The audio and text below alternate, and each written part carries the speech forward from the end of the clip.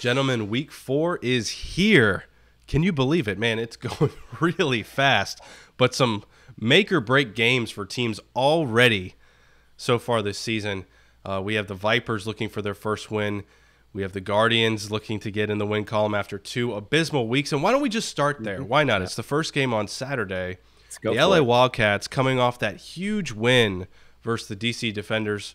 They were at home for two weeks. Now they're back going across to the East Coast to visit the New York Guardians, who are in desperate need of a win. And if you look at this game and really break it down, it's two teams that have so many injuries that they're dealing with.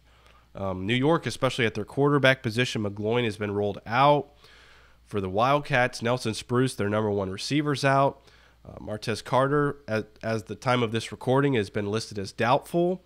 So a lot of weapons for each team expected not to play in this game. So, Glessner, mm-hmm. what are you looking at when you look at the Wildcats and Guardians? And what do the Guardians have to do to get that much needed win and really turn their season around? Because right now it's a mess.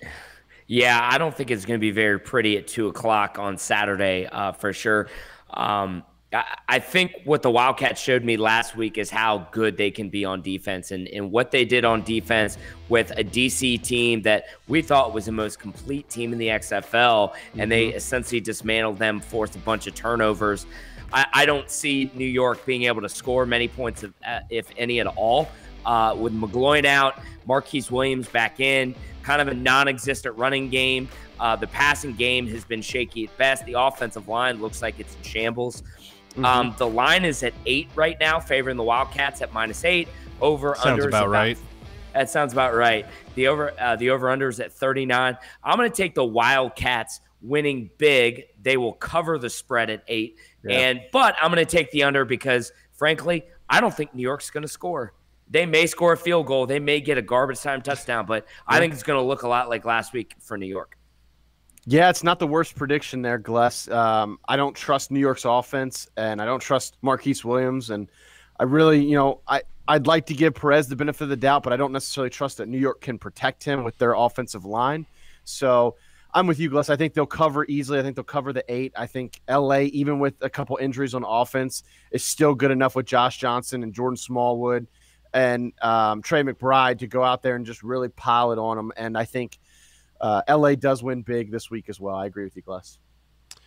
Gless, as a player and then a coach, just I'm I'm looking at it, and there's been so much pressure put on this defense, who we all think is one of the better defenses in the league, especially the secondary. But at some point, it's just too much, and there's just you know yeah. when you see your offense in such turmoil, in the such lack of discipline, especially on that side of the football, where you're your leader, your quarterback is throwing tantrums on the sideline. Your center's getting booted out of the game. He's getting benched. Mm-hmm. They can't score. It just and you're on the field constantly. Mm.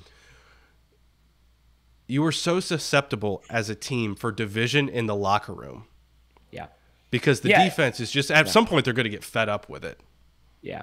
Yeah, there's no doubt about it. I mean, as a coach, and be as positive as you can. But as a player, you're on the field, and when you're always on the field and you're looking up, and it's you know the game is slowly getting away from you, and then you let the special team, you know, then the special teams unit kind of lets you down as well. Mm-hmm. It's demoralizing, and really the leaders have to step up, and somebody's got to make a play. Somebody's got to make uh, a play on offense. Mm-hmm. Somebody's got to stand up on defense and also make a play. Um, but I mean, I, I feel bad for the guys on defense. I feel like that they are good as a unit, but unfortunately, they're just put in bad spots, and it, it's hard to be good on defense when you're constantly given short fields um, and when you're always on the field. Yeah, and then Gilbride pull Mikael McKay to the side of the last game versus the Battlehawks, and it's like you're gonna have to step up being a leader because some of the guys who are supposed to be leaders on this team aren't doing that. Not that yet. just shows you the state of the New York Guardians right now. So there's no way I could pick them in this game. No the Wildcats and Josh Johnson are just playing too well on offense. Yep. It seems like Josh Johnson has gotten the rust off. Uh, he played pretty well in the second half versus the Renegades, and then we all know what he did versus the DC Defenders, throwing three touchdowns. He looked good, especially on the deep ball. I know that they're missing Spruce. I know they're going to miss Carter and Hood. Mm-hmm. So they're missing a lot of pieces, but I think they have enough to to overcome the Guardians, who are just reeling right now. So I'm going to yep. take the Wildcats on the road. Let's go to the next game. The Seattle Dragons are visiting the St. Louis Battlehawks, who are home for the second week in a row, and I'm not expecting them to let up at all in terms of that home crowd. So Seattle, no. who's home, who's who they're used to that home crowd behind them, is now going to have them cheering against them. and they're a team too that needs to get in the win column and really figure out that passing game and get a consistent running game going. But they're playing a Battlehawks team that's been very opportunistic on mm-hmm. defense, mm-hmm. especially mm-hmm. in the secondary. So, Gless, you're a Seattle guy, man. What do the Seattle Dragons need to do to get in the win column here and stun the uh, St. Louis Battlehawks? Well, they just need to be way more productive in the pass game. Their pass game has been, quite honestly, pretty embarrassing in the last two weeks. Um, rarely, you know, really nothing down the field, a lot of dinking and dunking. And their kind of one saving grace was really pounding the rock. And last week, that mm-hmm. seemed to, that just wasn't there. So I think offensively, if they can be uh, effective in the pass game, I think they have a shot here. Um, because I, am still a huge believer in that defense. Um, they have the the number one tackler in the NFL right now, and Steven Johnson. Um, but I really like the way that unit is playing. Uh, it's actually the largest line of the weekend as St. Louis at minus 11 and a half. Uh, and over really? unders 30. Yeah, surprisingly large line. So I'm actually going to take huh. um, I'm going to take Seattle in this, the plus 11 and a half. I think this game's going to be closer than that. I think it's going to be pretty close until probably about the start of the fourth quarter, where I think St. Louis, um, I, I think they get a score late. I think Seattle surprises people with how well um, they play on defense. I, I, really do. I, I think uh, the biggest thing with St. Louis is they're so dynamic in the run game. Um, but I think that plays right into Seattle's strength. Seattle's really good in the box. A lot of great linebackers, really great up front. I think they proved to be a lot harder than St. Louis thinks they're going to be. Um, so I'm going to take Seattle to cover the uh, plus 11 and a half. Uh, I'm also going to take the under in this one as well. Um, but I think St. Louis squeaks by Seattle. I really thought yeah, he was going I, Seattle um, there. I know, I know. I was tempted. I go back and f- I, I went back and forth, back and forth on this game in terms of the spread because I do think. Uh, let me just get this out of the way. I, St. Louis is going to win this game. I think they're going to yeah. win. That's my pick to win. I went really back and forth on the spread. It's a huge spread, and I was gonna lean with you, Gless, and go Seattle covering that 11 and a half. But the more I dug into Pro Football Focus and the more I read about St. Louis, St. Louis is a super complete team. They're only allowing 16 percent of pressures. Well, when when Jordan Ta'amu drops back to pass, they're only allowing pressure 16% of the time. Let me think of a, that's a better way to phrase that. That's the lowest in the league. That's the best line yeah. in the league. And their defense has the best defense in the league at getting pressure. I think that's just going to be a combination that's going to be too much for Seattle to handle. So I do think that St. Louis will cover. I think the home field advantage is going to be big. I think they're going to cover, but it's not going to feel like a blowout. I know that sounds weird because they they might win by, you know, 14, 18 points somewhere around there. I think I think Seattle will keep within striking distance for most of the game, but I think by the end of it, it's going to be one of those games where you look at at the final score and be like, yeah, you know, it, it, yeah. it, seemed a lot closer than the score, but St. Louis pulled away at yeah. the end and won by about, you know, 15, 18 points, yeah. something like that. Uh, Seattle's just not good enough on offense, Riley. I mean, no. I think that's ultimately what it comes down to. I mean, I, I love what they do on defense, and Kenny, I, I think I heard the same there. It's just it's just not going to be enough. So, yeah. Gless, I'm wondering, like at this point, like I think we're all on the same page. You have to stick with Silvers at quarterback. I know that may get some pushback from yep. fans – but I don't think yep. any of us believe that BJ Daniels is a viable answer at the quarterback position. No. Um, I think I think Silvers has a lot of blame that he can take on his shoulders, but also it's the lack of weapons um, around him. But I'm also curious, like they so the Seattle offense is predicated on the run, you know, run first, pass second, and they kind of struggled with that last week. And I'm just they have three good running backs, but at what point do you just have to you know, ride the hot hand and stop worrying about splitting up the carries. Like at at, at what point, Glessner, is it a detriment to your offense that you're worried about, yeah. you know, giving these guys equal amount of carries? We're just ride the hot hand, which in my opinion is usually Kenneth Farrow. I know he didn't have a great yeah. rushing game last week, but I think he's your most overall complete back. But at what point do you have to kind of just go with the guy that's playing the best mm-hmm. and just stick with him?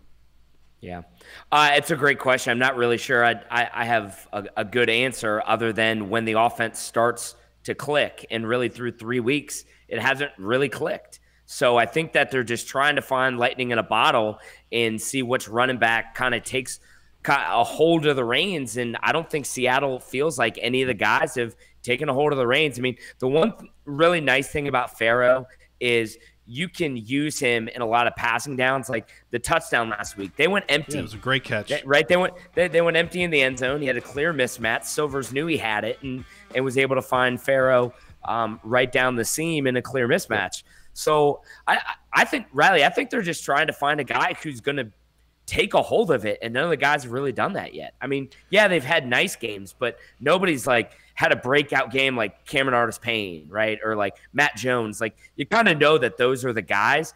None of these three guys have really stood out. They've all kind of done the same thing from a production yeah, standpoint. It's a good point. I mean, they've had multiple running backs in each of their first three games average over four yards a carry, but there really hasn't been that one guy that's mm-hmm. broken out. So maybe that's why they're still splitting the carries. But I just wonder at what point is it more of a detriment worrying about splitting carries three ways, not just two, but three ways between three guys? At what point do you just ride the hot hand? But I think defensively, yeah. they need to worry about stopping the run as well. They did a good job in their mm-hmm. first couple of games stopping the run, but um, they were definitely exposed versus Dallas. And I will give, you know, Dallas is probably the best rushing team in the league, but you know who's second best? The St. Louis Battlehawks. St. Louis Battlehawks. yeah. yep. Yep. And there's an yeah, argument I, that overall they're the best. That they're, they're, the best. I would, they may have the best. I would running say I, I, would. I, I, would. I would flip them. I think St. Louis. Yeah, and I might agree with that. I mean, I think. Yeah. I think uh, Dallas may have the best running back in the league, but overall, St. Louis may have the best running game when you include back, that yeah. Ta'amu is, you know, a mobile quarterback, and then they have yep. yeah, a lot of quarterback runs, man. Yep. They, they, they have design quarterback runs. I mean, it's really you have to account for everybody. It's not just like a handoff to Cameron Artis Payne. So, yep. All right. So it's long story short, I'm going with St. Louis, and uh, I'm gonna pick that they cover. I think they're gonna okay. keep building. I mean, at what at this point, I can't pick against them because every every week right. they seem to be impressing right. me more and more. So until they show me that, you know, they're trending the other way. I'm gonna I'm gonna stick with them. So let's go to the Sunday games. Agreed. Probably the game of the week. And this sucks because yep. I believe it's on FS1, isn't it, guys? Yep. God, man, it would yep. be awesome if this was on one of the major networks. But agreed. Regardless, it's it's probably the matchup of the weekend, and the undefeated Houston Roughnecks are going to Dallas, who has won two in a row. So we got we got ourselves quite a matchup between the two Texas teams. Uh, Gless, let's go ahead and start with you. What is yeah. the line for this game? I, ha- I have to imagine it's pretty close, especially since Dallas is at home. It, it's very close. So that this is by far the the game of the weekend. Uh, it's Houston at one and a half. Um, over unders at oh, 50, wow, okay. uh, 50 and a half. Yeah, I mean it, it's kind of like a. I mean it's the line is so close. I mean you're essentially picking who's going to win the game. Um, yeah, you know that this one, I struggled a lot with this one um, because I, I kind of know where my heart wants to go with it. Um, you know, but then I think I am right there with you. Yeah, you know what I mean. Like I'm like, man, I, I would really like to see this specific team win, but so let's just break down just um, Houston has lived off the big play, right? They've had the most big plays in the league, not even close. Nobody's been able to stop them. And if you have a chance to beat Houston, you have to limit the big plays to a minimum. You got to limit PJ Walker. You have to keep him in the pocket. And for for God's sake, can somebody find Cam Phillips on the field? Can somebody find him? Because no no one no one appears to have any interest at covering number 14. Um, and then you look on the and then you look on the other side with Dallas. Dallas is, you know, they've got an effective running game when they get going. And and it takes them a little while to get going. Now, I think through the first half, I think uh, it's it's a pretty close game. I think it's back and forth, back and forth. It's a close game through half. Um, I actually think this game will be extremely tight throughout the end. Um, mm-hmm. I'm going to go with the upset here. I'm going Dallas Renegades Whoa. to get the plus one and a half. Um, I'm going to go, I'm going to hit the over here at 50 and a half as well. Um, I think Landry Jones makes a massive play at the end of the game. Um, to Donald Parham proves to be too much for the Houston Roughnecks to stop. High scoring affair, back and forth. Guys, I think this also has the potential to see maybe our first overtime game as well. The two Oh, most be so evenly matched awesome. teams we've seen. Yes. So I'm going Dallas wins. Um, but again, it, it's a shootout, um, and I think Dallas wins uh, and covers that one and a half. Ooh, I would I would love to see an overtime Gless. We haven't seen it Yeah. yet, and I'm dying to see it in person. Like I really, really want to see it. So I, I Gless, I'm with you. I think it's going to be a super tight game, but I, I have it playing out a little differently than you. I think Houston's going to get out to a big lead early. I think they're going to be firing on all cylinders. Houston's going to Houston's going to go into halftime with a comfortable lead, and then Dallas is going to do what Dallas has done.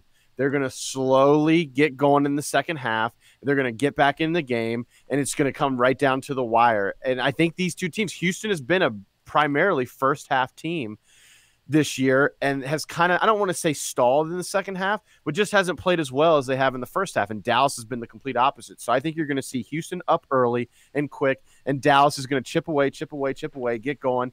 But I don't think it's going to be quite enough. I think Houston's going to hold off. I think they're going to cover, and I think they're going to win outright. Um, I just don't think Dallas is quite there on their level yet. I'm not going to get cute. I'm not going to get fancy here. I'm going to go with the quarterback who's playing the best in the league. All right, that's I'm going to go with the team that's, fair. the hottest in the league. I'm going to go with Houston here. I do think it's going to be a very close game, which I'm hoping it's going to be a very close game. And I really like the makeup of this Renegades team, but we haven't seen them put a complete game together yet. Yep. And I understand that in the second half, they've been extremely impressive, especially running the ball. But we've seen at times that Houston defense has been able to get after the quarterback, especially early in mhm. games. And Landry Jones, I feel like you know Josh Johnson is looking more polished coming back from injury, and jo- and Landry Jones, while he's had you know some fantastic throws, he's clearly still getting back into back into football condition, back mm-hmm. into the game flow. Mm-hmm. And the Houston defense has just been too opportunistic, and Landry Jones has been susceptible to a few bad throws every game. So I think that's where the Houston Roughnecks are going to capitalize. And I do think that that Rene- Renegades running game is going to keep them in it. But at this point, I'm not going against my guy Cam Phillips. No way, no how. Hell no, not going to happen. and PJ Walker is the. MVP of the league right now. He Um. That offense just has not been stopped yet. So I'm not going to go and the Dallas defense, and you've talked about it, Gless, over and over, how you're still in the wait and see mode with the Dallas defense, and they just lost Hau'oli Kikaha to retirement. So I'm not. I'm just I'm just not in a position where I could pick the upset as much as I really want to because I would love to mm-hmm. see, you know, Dallas at home and I'd love to see Houston, you know, n- not because I'm rooting against Houston, but just to keep the standings close, you know, the mm-hmm. competitive balance. I would love to see Dallas pull it out here, but I think Houston's going to come out victorious. Um, obviously, the line is so close. I'm not going to even bother picking that, but I'm just going to go with the Houston Roughnecks and. Boy, that'd be awesome. Let's let's root for some overtime. It would suck if it was on FS1 the first overtime, but hey, I know. Oh, I'll take overtime wherever I can get it. So let let's hope for uh, Houston Dallas overtime. Man, the XFL would really love that, wouldn't they? Be sweet. That'd be great. All right, let's go to the final game. The DC Defenders, who are coming off a whooping out in LA, are on the road again, and they're going to Tampa Bay, who played well versus Houston, but the Quinton Flowers saga has really, you know, brought them back down from that momentum. That any momentum that they had coming out of that Houston game, I feel has just been trounced on by Quinton Flowers leaving the team. At the time of this recording, he had been asked to leave the team for personal reasons. There's even reports that he has asked to be released. So we're not sure we're ever going to see Quinton Flowers in a Tampa Bay Vipers uniform again. Their quarterback position's already a mess, even with Flowers there. So I know that DC um, was just awful last week, but you have to look at the overall, you know, scope of things and how they played. Gless, do you see any way that the Vipers, with their quarterback position the way it is, do you see any way that they, you know, come out on top and get their first win, which it's basically a must win for the Vipers versus the Yeah, it is. this weekend. Yeah, no doubt. Uh, it, it's it's a must win for Tampa. I mean, go down oh um oh and four is essentially Can't do it. death sentence. No, you can't do it now with a ten game um ten game season. Uh, real quick before I kind of get into my analysis, uh, DC's uh, favored right now again at the time of this recording. Um, that minus two and a half. Um, the over under lines at forty four. Um, th- this one I also struggled with, just like the just like the last one. The first two were pretty easy for me, um, but T- Tampa Bay is an interesting case because I, I loved what they did on offense last week. They showed what we thought they could be on offense, right? Cornelius, though he didn't play great, he also didn't play awful either, right? Like he he sustained the team in the second half, couple drives down the field, did the yep. same thing a little bit in the first half. Now they're missing the spark plug. Quinton Flowers, there's no doubt about it. That's the guy that mm-hmm. everybody in Tampa wanted to see play quarterback, and he's not even going to be on the field. Um, he's not even going to be in the stadium. So it, it's all on Cornelius. Um, I at this time I don't believe Truesdell is going to play. Am I right no. on that? I, yeah, he hasn't I, practiced. Doesn't look like he hasn't. He, he hasn't practiced. But uh, again, I I love what Tampa Bay has in the backfield. I also l- really like what they have at the receiver position. So I think that this game is going to be tight as well, just like a couple, you know, just like the um, the Houston the Dallas game. Um, DC to me took a massive step back uh, backwards last week. Now, can DC kind of lick its wounds and get back on it? I, I think so. I, I think Cardale Jones, um, you know, what they've been able to do, at least in the first two games, is hit a lot of big plays and a lot of big plays for him outside the pocket. He didn't really get to do that last week, right? They their game plan was keep him in the pocket, make him make decisions, and he made a lot of bad ones. Um, I think the pockets break down again. I think he makes some plays with his legs. Tampa Bay is very susceptible to the big play. I don't think this is a recipe Tampa can um, can win on, and certainly can't beat a team like DC. So I think DC wins. I think they cover the two and a half, um, and then uh, I'm going to take the under here. Uh, I don't see a lot of points being scored here. Um, but I do see D- uh, DC kind of winning and uh, covering that two and a half line. Kenny, I am so interested to see what you have to say about this game. this was a this was a tough this was a tough game for me. This is a really tough game for me to analyze. Uh, like Gless said, I'll echo what Gless said. It, you know, one hand DC's coming off probably the worst performance we've seen from a team all year. Um, it was really bad. They went out to LA. They laid a big egg. We uh, talked about it. Yeah, them and them are New York. That's what I said. Yeah, well, them or New York probably had the two worst performances we've seen. But yeah, you know they lost thirty nine to nine. And so they're coming off of that. And look, what what DC team are, are we going to see here? Is it going to be the team we saw the first two weeks, who I'm not totally convinced isn't a mirage because they've now what we've seen they've beaten a very very dysfunctional and very very poor New York team, and they beat a Seattle team that you know hasn't been overly impressive either. Yep. So what what are and then they actually go and play a team that is firing all cylinders and they and they totally get throttled. So what team are we going to see? That's my question. And what Tampa team are we going to see? I think the Quinn Flowers stuff is overhyped. I don't buy as much as this, this is a whole dysfunctional thing, to be honest. I really don't. I, I think if he was good enough to play, he'd be playing. Plain and simple. Coaches don't do don't just uh, uh, purposely not play their best player just out of spite. That doesn't happen. This That's isn't true. a movie. This isn't a movie. This is professional football. So if he was good enough to start, he would have been. Cornelius is the guy right now. He's got another week of first team reps underneath him. And I think Tampa goes in and gets their first. It's a must win game. They go in and they get their first win of the season. I think it's going to be a tight mm. game. I think it's going to be close. But I think Tampa with Josh Banks, Nikita Whitlock, and the guys they have on defense are going to pressure Cardale the same way LA did. They're going to force him into mistakes. And Tampa is going to win the game. They're going to cover that two and a half. And and they're finally going to get in the win the win column. I really believe that. So that this is their week. Mm. They're a team that has to win, and when you are in a must win situation, you either rise and perform or the pressure gets to you. Um, and I'm a little concerned that you're starting a rookie quarterback in a game that you just have to have. Bottom line, you got to have it. it and, and it's just crazy against that the wall, four, man. Four weeks into the season, your your season could be done um, if you lose this game. So that's a lot of pressure. And then I know I know what I know what you're saying, Kenny, with the Quinton Flowers stuff, but I feel like Quinton Flowers means so much more to that team than just what he brings on the field, especially to that fan base and just the morale. I mean, just for him being in that area, going to South Florida. I mean, we've seen it all over internet. Like fans wanted Quinton Flowers to get his shot, and now that might not ever happen.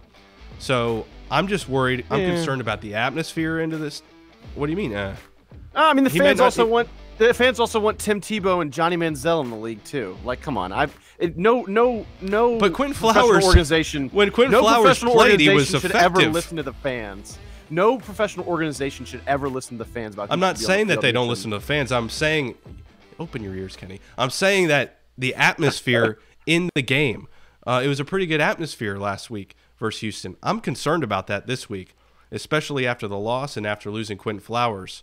I mean, we're just seeing it. Like people want to see Quinton Flowers, and when he was in, he was four for six for like 70 yards. He ran the first touchdown in in Vipers history. I mean, he definitely meant something to that team. I, I think him leaving is not just, you know, ah, we'll start Taylor Cornelius, who's a rookie quarterback out of Who- Oklahoma but State. Who who I think who uh, I arguably think played just as well as Flowers did last week. Maybe not in maybe not from a completion percentage standpoint, but once he got in a he groove, barely threw over 50%. he also had two total touchdowns as well, and had more rushing A quarterback yards than- sneak. than- I mean, he also had more rushing yards than Flowers did too. Let's not act like he played I mean, bad. he also played a lot more than Flowers. I think Flowers would have got overcome that if he actually got a snap in I'm, the 2nd I'm half. just saying when he got in a rhythm, that the team was close. It's not like they got blown out just because he was on the field. He played three fourths of the game. he also and they- threw a terrible pick that cost they the game also at lost. He's a rookie quarterback. He's a rookie quarterback. But my thing is, Aaron Aaron Murray is back now, and he's still not getting the start. I guess. I mean, I know he hasn't played since week one, but if he's your guy, he must not be physically ready to go, or I feel like he would be starting, right, Gless? Uh, that that's my thing. Is I don't think he's fully healthy. Um, I, I think he's getting out there. He's probably getting some reps in, get getting back familiar with the offense, kind of testing his health. But I think he's out there for emergency. Uh, I don't think that he's ready to go yet. yeah, I agree with that. So, so I just I think that DC is gonna. I don't think maybe they're not as good as we saw in week one and week two, but they're definitely not as bad as we saw in week three. Um, I I, mean, we've that. been high on that LA team, and now that Josh Johnson's back, we kind of saw what they were capable of. And I think that DC just got hit with a haymaker early in the in the fight, um, and they weren't able to, you know, really they were they were stunned. They they they didn't know what was happening to them, and by the time they collected themselves, it was too late. Um, and I know that this is a must-win for the Vipers, but I think the talent that DC has, especially on the defensive side, facing off against a rookie quarterback that, you know, when the moments have been big, he hasn't been able to perform. And I mean, it's nothing against Taylor Cornelius. He's a rookie quarterback. So, I mean, it is what it is. But I think Cardale Jones is going to have a bounce back game. Um, like Les said, they've been the Tampa Bay Vipers secondary has been, you know, very susceptible to um, big plays, and I think that DC is going to hit a couple of them downfield, and I think they're ultimately going to win this game, and I think the Vipers are going to be really reeling after this. Um, so th- those are our picks. Uh, in the comment section below, we would love to know what your picks are. So we're different on what the last two games, the Sunday games. We have some Yep. Yep, Sunday games. Yep. division in the ranks, unlike last week. So uh, we'll see. It should be a lot of interesting games, some good matchups, some huge matchups, uh, specifically for the teams that really need to get in the win column. Uh, so let us know what your picks are in the comment section below, and follow us on XFL Chalk Talk at Facebook, Twitter, Instagram, and YouTube for the latest news. And follow us today on the Discord app. We'll put a link in the description below so you can chat with the show live during the games. It's been a lot of fun these first few weeks, uh, kind of just analyzing, breaking down what's going on during the game. So make sure you check us out on the Discord app as well. Enjoy the games this weekend, everybody, and we will uh, touch base with you after Sunday's games. What's up, football fans? This is Coach Gless. Want to know how to listen to all of our segments on the go? You can subscribe to Apple Podcasts, Spotify, Google Play, and iHeartRadio. Subscribe on your favorite podcast platform today. Don't forget to rate us and give us that five star review.